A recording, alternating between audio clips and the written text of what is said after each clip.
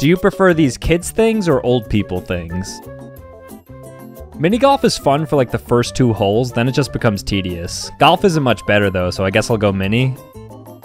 Chocolate chip cookies are objectively the best dessert out there. I don't hate oatmeal raisin though, but definitely can't compete. Definitely streaming. Does anybody even still watch TV? Like there's no reason to really have a cable package at this point.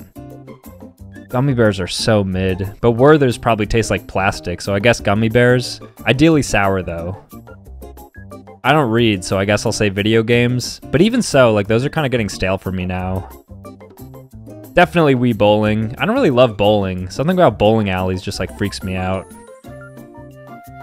I always get nostalgic over the sound of a landline, but practically speaking, cell phones are just so much better. And then, ooh. Honestly, depends on the food, but I think we go chewy here.